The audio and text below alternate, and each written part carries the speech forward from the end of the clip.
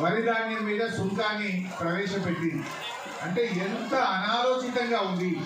ఈ కేంద్ర ప్రభుత్వం ఏంటంటే ఒక దశ దిశ లేకుండా నడుస్తున్నది మంచి కార్యక్రమాలు.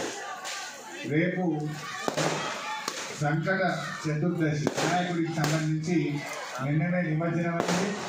రేపు పదమూడవ తేదీ నాడు సంకట చతుర్థి. మరి అటువంటిది మన గణేష్ గడ్డలో నాలుగున్నర కోట్ల రూపాయలతో గణేష్ గడ్డలోని దేవాలయ అభివృద్ధి కోసం ఇవాళ శంకుస్థాపన చేసుకున్నాం. ఇవాళ మన పటల చెరువులో ఎవరు ఏ మంచి కార్యక్రమం చేసినా గణేష్ గడ్డలో ఆ విఘ్నేశ్వరుని పూజించి విఘ్నాలు లేకుండా సకల కార్యక్రమాలు నిరాకంఠంగా జరగాలని చెప్పి పూజించి ఎవరిమైనా కార్యక్రమాలు చేస్తాం. ఇవాళ గణేష్ గడ్డలో నాలుగున్నర కోట్ల రూపాయలతో అభివృద్ధి కార్యక్రమాలకు శంకుస్థాపన చేసుకొని ఇక్కడికి రావడం అది చాలా ముఖ్యమైనటువంటిది. పాషమైలారం నుంచి గద్దనూరు వరకు అంటే ఓఆర్ఆర్ జంక్షన్కు నాలుగున్నర కిలోమీటర్ల రోడ్డు.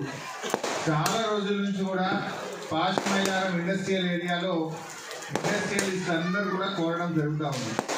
ఆ రోడ్ అయితే మనకి ఇటు ట్రాఫిక్ బాగా తగ్గుతుంది. ఇస్నాపూర్ మీద లోడ్ తగ్గుతుంది. ఇస్నాపూర్ జంక్షన్లో ఎప్పుడు ట్రాఫిక్ జామ్లు యాక్సిడెంట్లు ఎంత డెవలప్ చేసినా ఎంత పెద్దగా చేసినా ఇస్నాపూర్ జంక్షన్లో విపరీతమైనటువంటి రద్దీతోని ప్రజలు ఇబ్బంది పడతా ఉన్నారు. సో ఆ ఇస్నాపూర్ మీద లోడ్ తగ్గాలనే ఉద్దేశంతో పాషమైలారం ఇండస్ట్రియల్ ఏరియా నుంచి ఓఆర్ఆర్కు నూట ఇరవై ఒక్క కోట్ల రూపాయలతో రోడ్డుకు శంకుస్థాపన చేయడం జరిగింది. సో పాషమైలారం టు కట్టలు ఈ రోడ్డు నూట ఇరవై ఒక్క కోట్ల రూపాయలతో మనం నిర్మించబోతా ఉన్నాం. ఈ మనం ఈరోజు శంకుస్థాపన చేస్తున్నాం. దీంట్లో ల్యాండ్ ఎక్విజేషన్ డెబ్బై ఆరు కోట్ల రూపాయలు రోడ్డు వేయడం కోసం నలభై ఐదు కోట్ల రూపాయలు మనం మొత్తంగా నూట ఇరవై ఒక్క కోట్ల రూపాయలు ఈ రోడ్డు కోసం మంజూరు చేసుకోవడం జరిగింది. సో అటు నూట ఇరవై ఒక్క కోట్ల రోడ్డు గణేష్ నగర్లో నాలుగున్నర కోట్ల రూపాయలతో గణేష్ దేవాలయ అభివృద్ధి ఇటు మా విజయ్ మరియు వారి బృందం మార్కెట్ కమిటీకి ప్రమాణ స్వీకారం చేసుకుంటా ఉన్నారు. కరెక్ట్గా ఉన్నది ఏం నిర్ణయం తీసుకుంది కేంద్ర ప్రభుత్వం నిన్న? నిన్న కేంద్ర ప్రభుత్వము ఈ దేశం నుంచి నూకలను ఎగుమతి చేయడం మీద నిషేధం పెట్టింది. వరి ధాన్యం ఇతర దేశాలకు ఎగుమతి చేస్తే ఇరవై శాతం సుంకాన్ని పెట్టు వరి ధాన్యం మీద సుంకాన్ని ప్రవేశపెట్టింది. అంటే ఎంత అనాలోచితంగా ఉంది. ఈ కేంద్ర ప్రభుత్వం ఏంటంటే ఒక దశ దిశ లేకుండా నడుస్తున్నది. ఎందుకు నేను ఈ మాట మాట్లాడాల్సి వస్తుంది?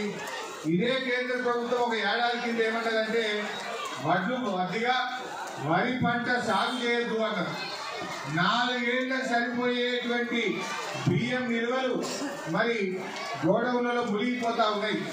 బియ్యం మేము కొనే పరిస్థితి లేదు. కేంద్రం వడ్లు కొనని వరి పంట సాగు చేయొద్దు అని చెప్పి ఇదే కేంద్ర ప్రభుత్వం చెప్పింది. భారతదేశానికి ధాన్యాగారంగా మారింది. ఎంత పంట పండుతుందంటే భారతదేశంలోనే అతి ఎక్కువ వరి పంట పండించే రాష్ట్రంగా ఇవాళ తెలంగాణ రాష్ట్రం అవతరించింది. మొన్న యాసంగి పంటలో వడ్లు కొనమంటే కేంద్ర ప్రభుత్వం వండికేసింది వడ్లు కొననే కొనమన్నారు.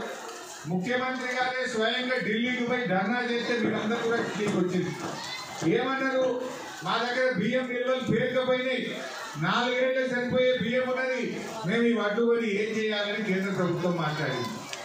నాలుగేళ్ళకి సరిపోయే బియ్యం ఉంటే ఇప్పుడు ఎందుకు మరి ఎగుమతుల మీద నిషేధం పెట్టింది ఎగుమతుల మీద ఇరవై శాతం సుంకం ఎందుకు పెట్టింది నూకలు ఎగుమతి చేయకుండా ఎందుకు నిషేధం చేసిండు మరి వాళ్ళు నిజంగానే నాలుగేళ్ళకి సరిపోయే స్టాక్ ఉంటే రైతులకు లాభం జరుగుతుంది కదా? రైతులు తెలంగాణ రైతులు కానీ ఈ దేశంలో వరి పండించే రైతులు ఇతర దేశాలకు పంట పోతే మంచి ధర వస్తే రైతులకు లాభం జరుగుతుంది కదా? అంటే ఒక తల తోక లేదు. మీకు ఒక దిశ లేదు ఒక డైరెక్షన్ లేదు ఒక అవగాహన లేదు. ఇదే కేంద్ర మంత్రి గారు వడ్లు కొనమన్నాడు వరి పంట వేయద్దన్నాడు. మొన్న ఏమన్నాడు మూడు నెలల కింద వరి పంట ఫుల్గా సాగు చేయండి అంటుంది మళ్ళా. ఆరు నెలల కిందనేమో